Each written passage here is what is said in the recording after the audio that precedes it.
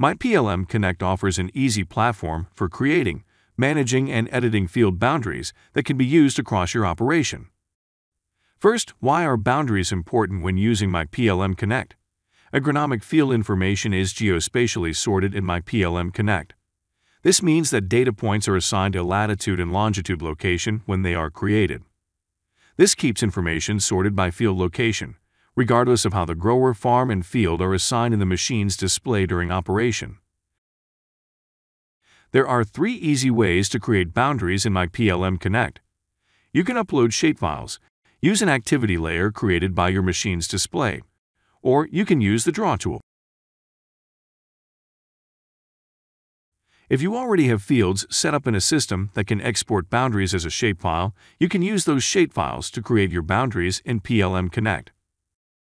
After downloading and zipping the shapefile, make sure you have all three file types shown here, an SHP, an SHX, and a DBF. Then, click on the Add button on the PLM Connect dashboard. Under Upload Data, select Field Boundaries. Select the zipped file with the shapefiles in it. Connect will do an initial read of the file. It will ask you to assign the field column. In most cases, you will select Field from the dropdown. Then select the grower and farm the new boundaries are for. You may need to use the Create button to add a new grower and farm. Click Process. When the system is finished, select the applicable grower, farm and field to find your new field boundary. If setup data and boundaries were not included in your initial data upload, there may be activity layers that you can use to create boundaries. These map layers may have been created in your machine's display during a previous planting, harvest, or application.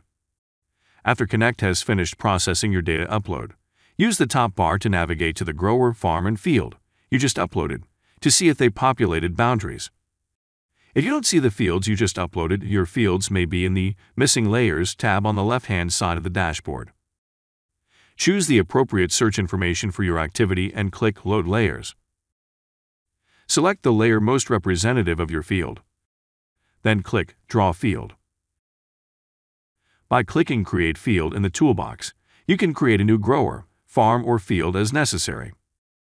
To edit the field boundary that Connect pre-populated, Using an outline of the activity layer, click on Draw Field.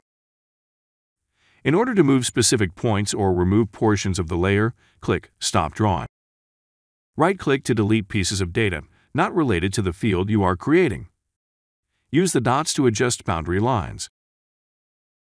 When the boundary is accurate, click Done, and then save the field information.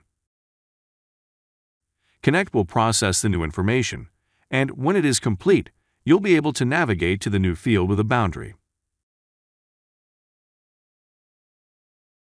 The previous methods shown will be the quickest way to set up boundaries for multiple fields. However, if you don't have any previous activity layers or shapefiles to upload, you can draw each individual field.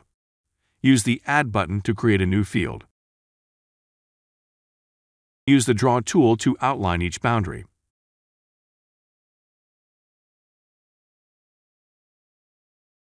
You can edit field boundaries using this same method at any time through the Setup menu.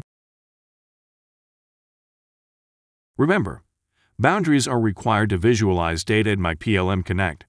Use the methods shown in this video to create and edit your field boundaries so you can start working with your agronomic data as soon as possible.